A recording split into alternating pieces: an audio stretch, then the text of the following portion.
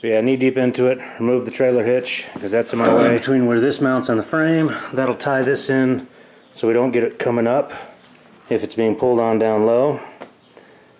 So that's the simple part of what we're doing today. We'll get to that. Alright, so here's what we're dealing with. Right now it's only on two bolts. This is an odd angle I bet. But two bolts that are on that part of the frame. I've removed the trailing hitch and it has one, two, three bolts plus this rivet that rivets the crossbar in. So I've got a clearance out for the crossbar. I always knew I was going to have to do this. I just didn't do it when I originally did the bumper. Laziness mostly. But, alright, you can see kind of what I'm after here. That's spotted up for the rivet. I got a little bit of interference on that one. Alright, I got the bumper out and you can see how these all tie in. Ended up having to wallow these out. They'll get clamped in. That's for the rivet anyway, but those are for bolts. Since these are right in line with where the shackle points are, this ought to do pretty well of actually making sure this is passing force straight through to the frame. And it should keep it clamped in there pretty good.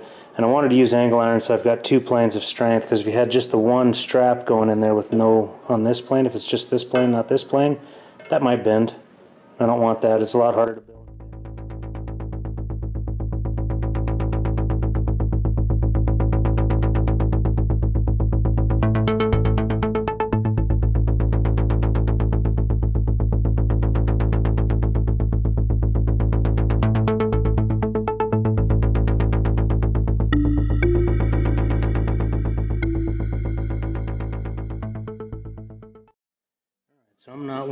Contests for beautiful welds, but those are burned in on just about every side. And I'll be the first to admit there's a lot of trash in this. I couldn't get it as clean as I might have wanted. And say because that was clean, that's the most beautiful weld I've got.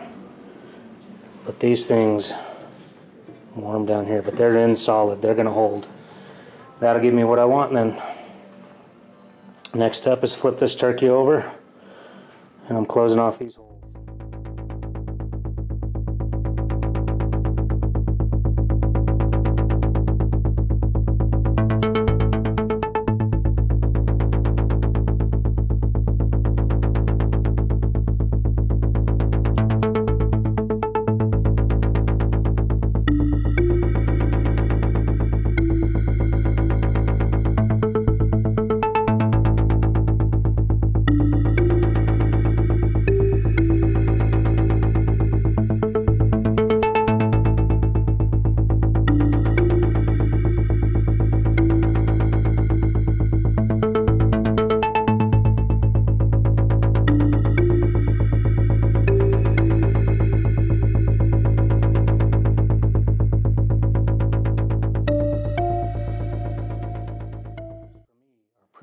Freaking pretty welds. Used pretty twice, but they're beautiful for my capabilities. You notice I was doing my best to keep it fairly level with the original bumper steel. This thing's smoking hot. Had a pretty decent gap to fill in that side. That may be low.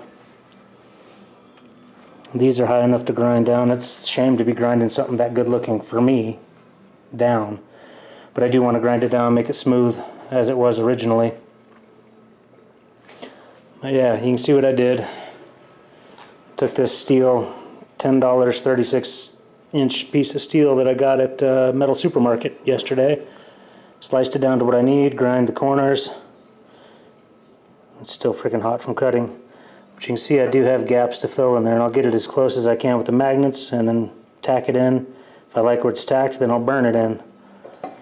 But obviously I'm not going to remove this stuff in here. I'm going to leave it. So here's the hardest part about this whole operation is these studs on a flag nut. They're on a big piece of bar. I pushed them up in there so we could be able to slide this in, but now getting them back out. I just spent 30 minutes on that side doing that one. You do not have a lot of room to get up in there.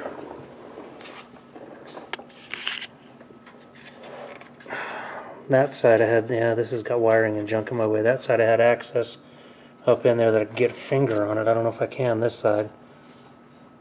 So I'm playing around with a magnet and a wire to see see if I can get them back in. But the problem is you can actually rotate them 360 in there. So difficult part if you're trying to sandwich something in between that. If it was up to me, I would have had, probably should have done a 3x3. But I'm so tight to the freaking exhaust. I don't know, it may have worked. A piece of 3x3 may have been better. Because as you see here, this side, I had to notch all three sides, so I'm basically counting on it to sandwich it totally and clamp it in there. So I'm going to give it a lot of ugga Alright, let me get back at it. Step one, when you plan on actually welding on your truck, disconnect your negatives. Both of them, if you have two batteries. Disconnect those because you do not want any of that welding current flowing through and getting to these components here. Get your computers fried or anything else it might fry. But yeah, burned them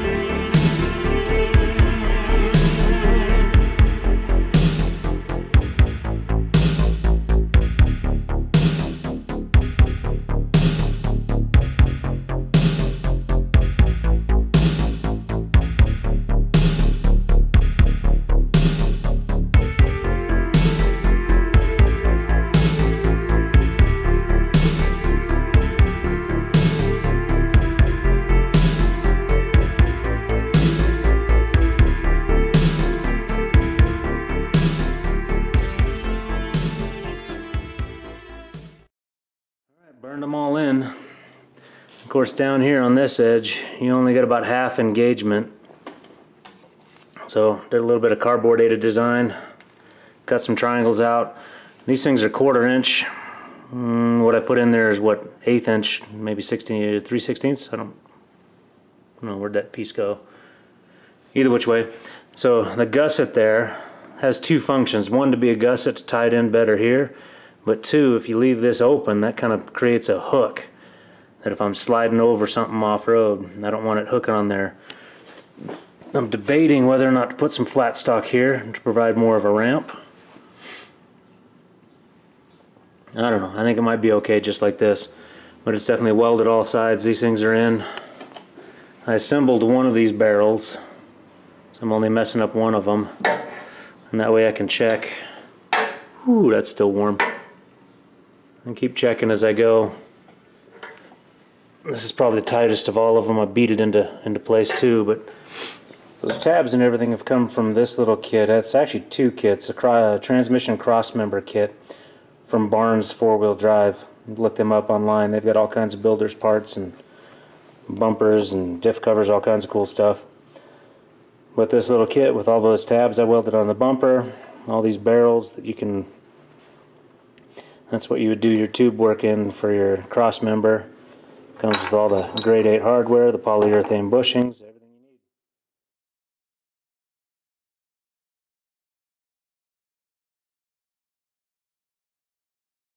Got them bent up. That took a lot of figuring and measuring and guesstimating. Pretty sure what I'm going to end up with is going to be what I want it to be. You can see the marks where I'm going to cut the ends off so I can get my 15 and a half so it's 15 and a half from center of this to center of this. And I'll have the hoop coming up off that. All right, if you're questioning getting yourself one of these affordable benders, it's kind of a depends question. weak point that I am a little worried about is it's just a grade 8 bolt going through there for the strap. And that bolt was bending. So I'm not sure how much of an issue that is. This 8 ton jack, it starts actually collapsing actually more this way as it gets further into the radius. And you can definitely feel when it bottoms out. If you, you go past that point, you got problems. It's going to cause you some issues. But uh, looking at what they've built here, if you do have problems with it, they've put this bolt in here, tack welded the nut on, but that's what holds the bottle jack portion in, so you can replace this thing if you blow it out, which is what kind of had me worried. I mean, it's just four bends I've done this thing. I don't know. It's it's an affordable bender, so it's not it's it's not going to be anything you're going to want to use every freaking day. But for getting the four bends I need for this project, will do all right. And the next bends I want to do on the next project, it should be all right. But it's just figuring out seven inch radius. How much does it take up? You know, and I, I did the first bend here as a test, and then decided to go with it and figured out just off that test bend how to get down here and get the bend I want there so for me, a lot of trial and error. Those of you that know how to bend tube, you'd probably be a lot faster at this than I would.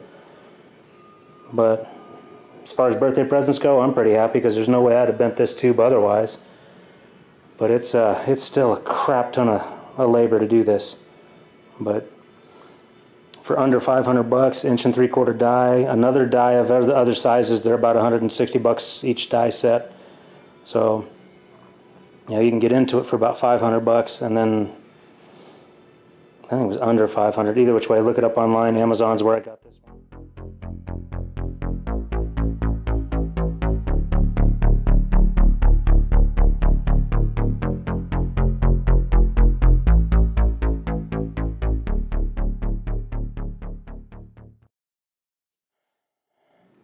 And I'm fighting this and starting to make those look ugly. What I'm fighting here trying to keep it generally in line with the truck. It's almost as if I need to cut. It has a lean to it. This one leans that way. So this one seems straight, but this one definitely's got a lean. That seems straight in relation to the truck. What it makes me wonder is do I need to cut out a little bit more in between here and then that will pull this in. That's my next attempt because I've tried several different things and it's all frustrating the piss out of me. I'm sweating my bum off.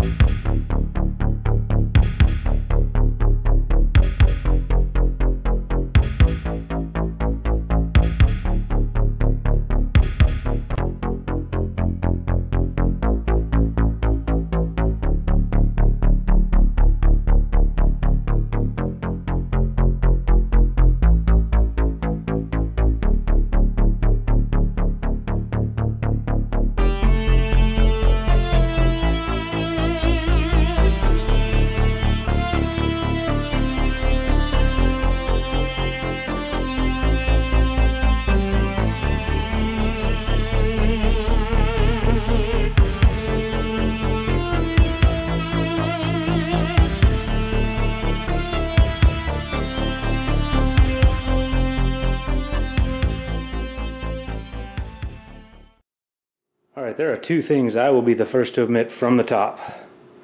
One, I am not a professional welder. I'm an amateur. And so, yes, quite a few of these welds will qualify for what my older brother, the certified welder, would call bird droppings. Quite a few of them are good, but that's the way it goes. Two, I should have found a way to press out those polyurethane bushings. I smoked a couple of them. And for this application, I don't think that'd be a problem. If you're doing it on suspension, that would be a problem. For this, I doubt it, because this is only going to move when you're taking the tire down and up. But I've got most of them done.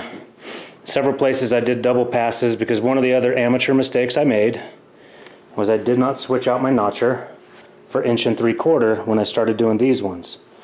I had it on two inch because that's a two inch DOM piece of tube, still warm, and this is one and three quarters. So I did these with a one and three quarter or with a two inch radius to be able to match up to those better. So I thought. Didn't really work as well as I might like. But these ones are nice and tight. And what I forgot to do with them was bevel the edges. So I end up doing multiple passes. Another little trick, you got tube and you can't get the clamp to hold onto the tube. You don't have a big enough clamp. You do this. And then I'll grind that off and grind it smooth with a flap disc if I can find my flap disc. Yeah, among these welds, I wish that this one, the worst of them all, was on the bottom of the tube, but it's not, it's up top, so yeah, it's one of those things. And a lot of this is remnants for when I tacked it, pulled it off, tacked it, pulled it off, as I was trying to get the proper adjustment, as I was trying to line up this top hoop the best that I could. I just had tack after tack after tack. Lesson there is grind those tacks off, then try again. Take the time to do that so you don't get this globular mess that I've got everywhere. Did a little better down here. There's still I got the penetration it needs, so it's going to hold. It ain't falling off the truck either off-road or on the highway. The next part I have to do, you see I've already got the cross member cut, is I got to figure out exactly where the center line of the tire is going to be at.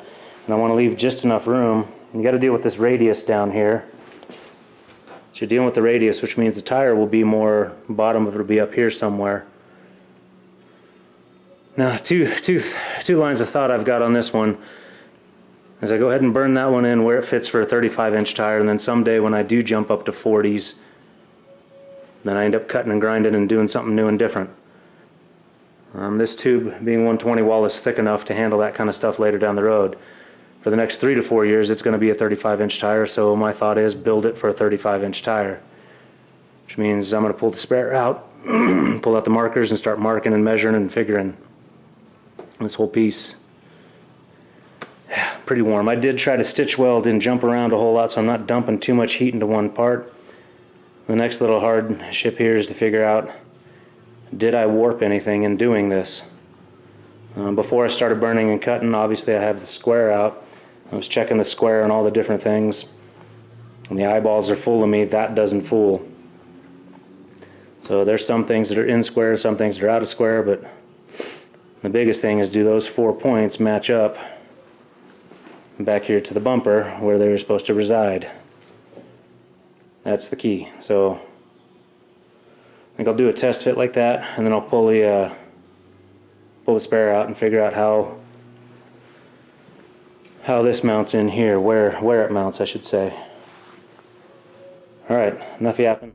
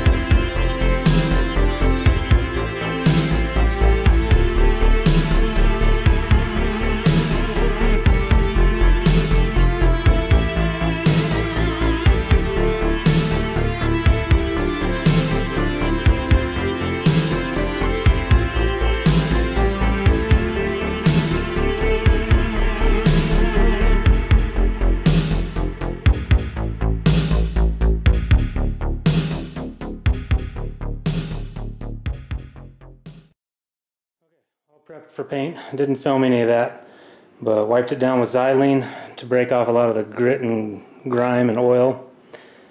And then after that, shop towels with Windex to get it totally clean, or as clean as we can get it without any much more.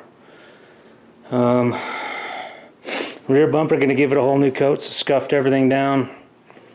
I have some rosin paper laying around, so I use that for my masking. It There's the nice thing out. about your Duplicolor bedline or rattle can stuff is you just scuff over the old stuff and you put a whole new coat on. This time around, I am going to go over the aluminum, make it all black. It's kind of what I want in the first place. That aluminum is a nice touch and all, but not really my style. So we're going to do that. But any of the bare steel stuff, I'm going to hit with Rust-Oleum self-etching primer. And this whole thing, obviously, the whole thing gets Rust-Oleum self-etching primer.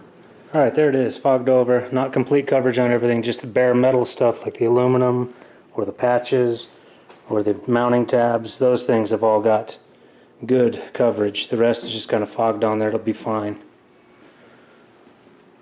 One side of this, good two, three coats. You can see it's still flashing off and drying. I'm also getting the eye works. You can see where I'm going with this, that I'm going to use that same factory tie down to be able to strap the tire to it. Should work just fine. If not, then I'll go get myself one of those plates from, uh, oh, Barnes 4-wheel drive is selling some multi-wheel pattern plates for studs and stuff like that. You can bolt them on down that way. I might, but I'm kind of hoping this does the trick because I do like the little Y bar that it gets and the hook and that tightens it down good. Alright, there it is, all blackened up. I think those patches blended in, at least in this light. The sunlight, it'll probably look different. Maybe able to see them, maybe not. I don't know. I think the bumper's pretty good. I've got a couple coats on it. And that's the thing is if you don't get enough coats on it, you will get bleed through of rust and everything else. The primer will give out, whatever. So you do want three to four coats on it. I did take the time to redo this entire panel here. There's the spare tire carrier all blackened up. So we'll have to flip it over to get this point and those two points there. But I wanted this to be the best finish because that's the stuff that'll show the most. So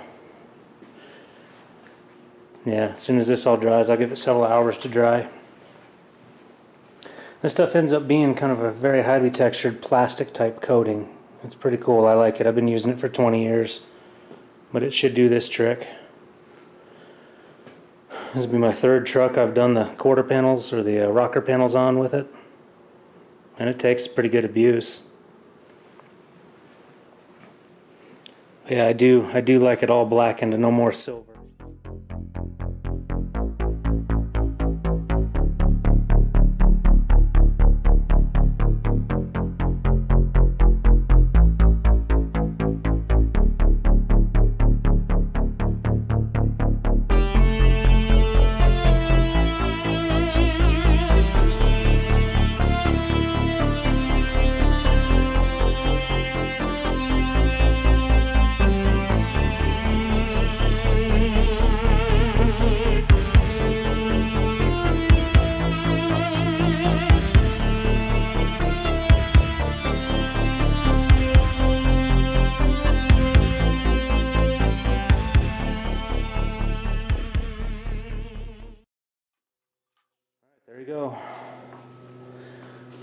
That is what I'm doing. I have my doubts as to whether or not this will be sufficient. If it's not, I'll fix it. If it is, I leave it. But you can see I oversized this enough that I should be able to get a 40 inch tire. A 40 inch tire would be another inch wider. But I've also got enough space I can put two Rotopacks on these things if I just get the extension. And you can see I just went to Tractor Supply, got some quick release farmers type pins. Those stay bolted. And there we are. There's how the truck's going to work. But yeah, I'm pretty happy with it so far. That don't look good. Those things don't clip in so well. But yeah, this texture coating from Duplicolor's come out pretty nice. I think in the future I may actually pull all this back apart and do Raptor lining, but uh, one of the things I was looking at is GenRight actually sells a pin that is locking, and I may do that. And the fun thing about if you have that locked, it means nobody's swinging these doors open either. So I may do that in the future. I may order that from them. It was like 40 bucks for it, but those pins, and I like this style of, of retention pin better than a regular cotter pin. That one ain't coming out no matter what happens to it until you actually undo the spring. But for both of those pins, actually I got three pins and three of the retentions, cotter pin type things, whatever they are, for 15 bucks versus that one from GenRight that would be 39 bucks.